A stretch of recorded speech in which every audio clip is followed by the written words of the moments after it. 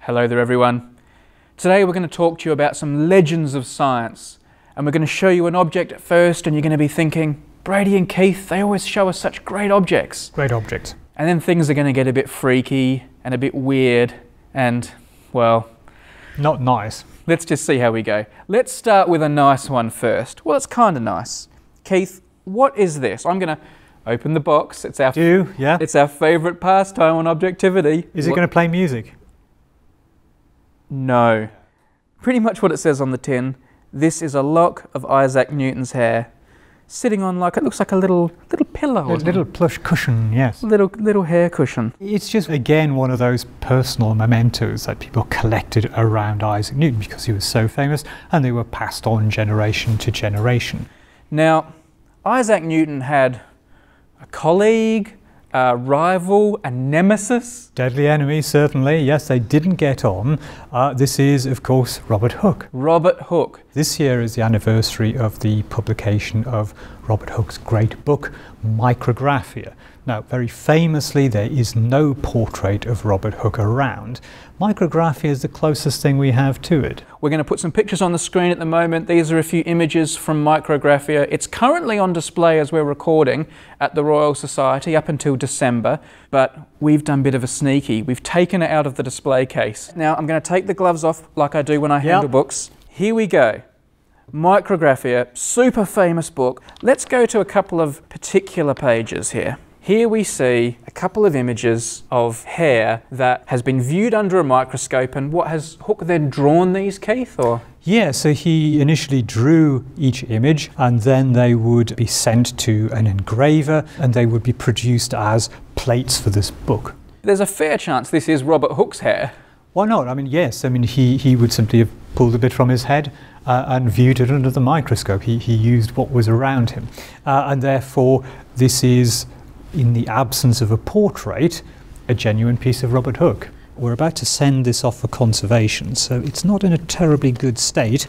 Look at this. There we go. So we've got a giant louse there by the looks of it. Clinging on to a human hair, of course. A so, human um, hair. hmm. We don't know if this hair and louse came from Hooke's head. Could easily have done. I'm going to stick with that. Okay. All right. Now, this is a really lovely image that Keith's found for us here. We'll give you a few seconds just to admire its majesty and think about what it might be. Hmm. Let's put people out of their misery, Keith. What is this that Hooke is looking at through his microscope? This is uh, observing urine, by freezing. Yep. We have the original drawing just behind you there, Brady. So look at this. Here it is in Micrographia, but here, the hand drawn version by Hooke himself. I want that to sink in for people here. I mean, Micrographia is this famous book with all these incredible images that have been reproduced, but the hand drawn originals seem to have been lost in the mists of time. People like Keith don't know where they are. But here, this is the only one that Keith knows of that has survived. It's a marvellous illustration in its own right.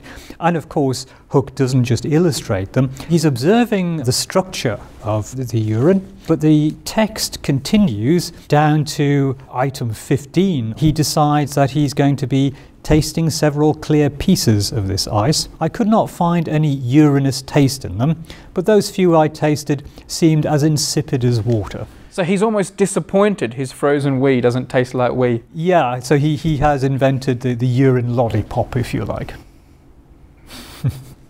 Science. Nice. So you might be thinking, Robert Hooke's going a bit crazy here. Could it get any worse? Mm. Well, it could, because there was another guy, Antony van Leeuwenhoek. This was another great microscopist of the time, doing amazing things. Yeah, he, he'd seen micrographia, we think, and he was rather inspired by that. By the 1670s, he's sending letters into the Royal Society about his own microscope observations. We have uh, four volumes of Anthony van Leeuwenhoek's letters. It's a huge, decades worth of, of research. The other thing he tended to send in uh, was specimens. So he would send small packets of things that he wanted the Royal Society to observe uh, and check. Uh, we're very happy that occasionally he didn't send packets of specimens, uh, and that's probably the material we're about to talk about. Here we have a Van Leeuwenhoek article in Phil Trans where we're actually finding out what he's doing. That is a That- great opening line. I send some observations about spittle. Yeah. Now that I have your attention, Mm-hmm. though my teeth are kept usually very clean. Nevertheless, when I view them in a magnifying glass, I find growing between them a little white matter as thick as wetted flour.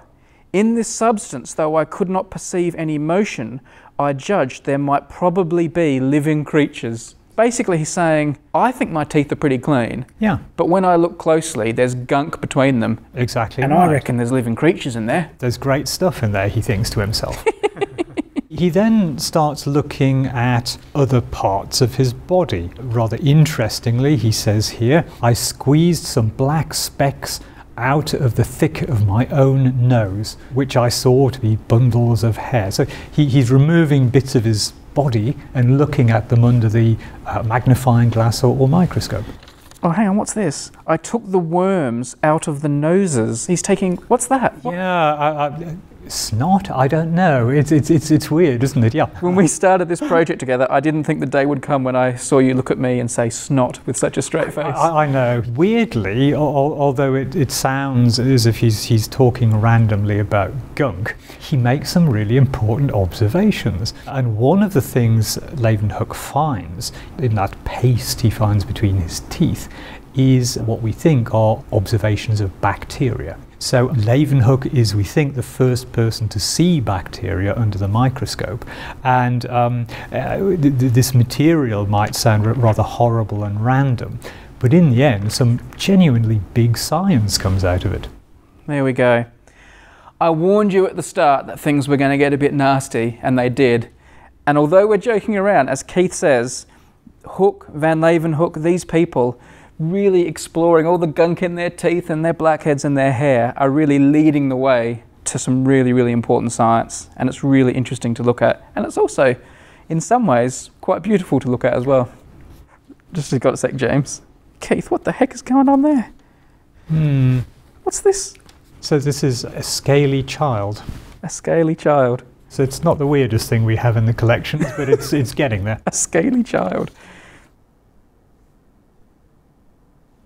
What a fantastic book. We actually have a second picture of the Bradypus here because you have to take this in from every possible angle. That's what it must look like as a Bradypus is slowly charging at you. It's a great looking beast, isn't it? Oh, look, they've done a little picture for every bone. Mm.